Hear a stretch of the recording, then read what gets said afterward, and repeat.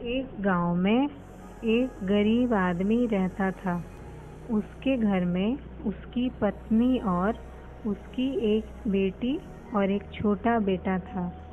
उसकी पत्नी दूसरों के घर में काम करके अपने परिवार का खर्च चलाती थी। उसका पति, जिसका नाम रामू था, रामू दिन भर नशे में डूबा रहता और दूसरों के साथ अपना समय बर्बाद किया करता। कहीं इधर ताश के पत्ते खेलता तो कहीं उधर लोगों के दरवाजे पर बैठकर गपशप मारा करता। अपने परिवार का ख्याल उसे बिल्कुल भी नहीं था। ऐसा लगता था कि उसके माता पिता ने उसकी शादी कराकर गलती कर दी थी। बेचारी उसकी पत्नी दिन रात काम कर अपने बच्चों का पेट पालती थी। यदि उसकी पत्नी एक भी दिन काम पर न जाए तो उसके बच्चे भूखे रह जाते थे।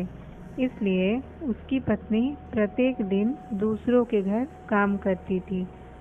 लेकिन रामू को इन सब बातों से कोई फ़र्क नहीं पड़ता था। उसे बस अपना समय बर्बाद करके हँसी मज़ाक और पत्ते खेलने में बहुत मज़ा आता था। शाम को शराब पीकर घर आकर ज़ोर ज़ोर से अपनी पत्नी पर चिल्लाता। कई बार उसने अपनी पत्नी को मारा भी, लेकिन अब उसकी पत्नी करे भी तो क्या करे? वह तो अपने बच्चों को छोड़कर कहीं जा भी नहीं सकती थी। रामू को जो कोई भी समझाता था, रामू, कुछ काम किया करो। अपने परिवार का खर्च तो उठाओ। तुम्हारे दो बच्चे हैं, तुम्हारी पत्नी है, उनकी देखभाल करो। ऐसे अपना समय क्यों बर्बाद करते हो? रामो उसके ऊपर बिगड़ जाता और कहता, तुम्हें इससे क्या लेना देना? मैं कुछ भी करूँ, यह मेरा जीवन है। मैं तुम्हारे घर में खाता हूँ क्या? इसके कारण कोई भी गाँव का सदस्य उससे इस विषय में बात ही नहीं करता था। वह सुबह खाकर निकल जाता और रात में शराब पी कर आता और अपनी बीवी के ऊपर गुस्सा करता। ऐसा ही कुछ दिनों तक चलता रहा। कुछ दिनों के बाद संसार में एक ऐसी बीमारी ने जन्म लिया जो मानव जाति के लिए अत्यधिक खतरनाक थी। चारों तरफ़ उस बीमारी का कहर था। आप सब जानते होंगे कि मैं कोरोना वायरस की बात कर रही हूँ। जब सरकार द्वारा लॉकडाउन लगाया दिया गया, तब चारों तरफ़ लोगों का एक दूसरे के यहाँ आना जाना बंद हो गया था। सारे कार्य, सारी फैक्ट्रियाँ सारी गाड़ियाँ इत्यादि बंद हो गए थे। अब रामू का परिवार भूखा मरने लगा था, क्योंकि उसकी पत्नी जो रोज कमाने जाती थी, वह अब किसी के घर इसी कारण नहीं जा पाती थी। कि कहीं इस बीमारी की वजह मैं न हो जाऊँ। लोग उसे अब काम पर बुलाना बंद कर दिए थे। उसके परिवार में अनाज का एक दाना भी नहीं था, ना उसके घर में कुछ पैसे थे। अब वह क्या करता? उसका छोटा बेटा भी बीमार हो गया। उसके बच्चे की तबीयत ज़्यादा खराब हो गई थी। तब रामू को समझ आया कि अपने परिवार पर ध्यान देना चाहिए।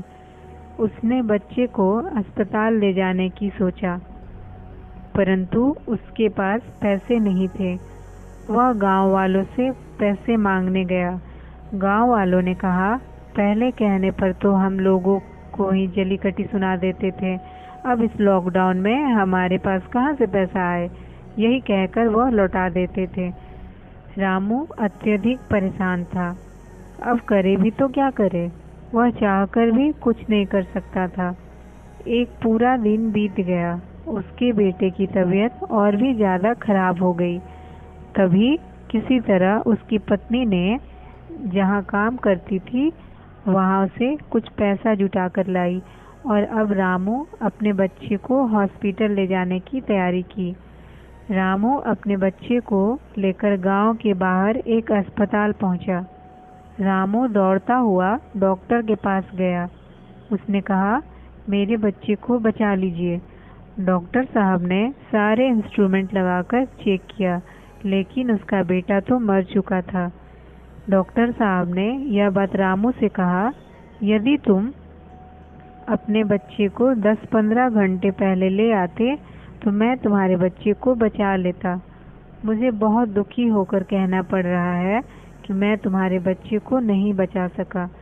रामू के पैरों तले ज़मीन ही खिसक गई और वह रोने लगा और कहने लगा, यह सब मेरी ही गलती है। मैंने जीवन में कुछ नहीं किया, सिर्फ़ अपने समय को बर्बाद किया है। यदि आज मेरे पास पैसे होते तो मैं अपने बेटे को हॉस्पिटल जल्दी ला पाता और मेरा बेटा बच जाता। मैंने अपने जीवन में समय को बहुत बर्बाद किया है। लेकिन आज मुझे समय की अहमियत पता चल गई है। तो हमें इस कहानी से यह शिक्षा मिलती है कि हमें अपने समय को बर्बाद नहीं करना चाहिए, उसका सदुपयोग करना चाहिए, तभी हमें अपने जीवन में सफलता मिल सकती है। इस कहानी में अगर रामू पहले से काम करता होता तो उसके पास पैसे होते और अपने बेटे का इलाज करा पाता। मित्रों हमें हमेशा अपने समय का सदुपयोग करना चाहिए। धन्यवाद।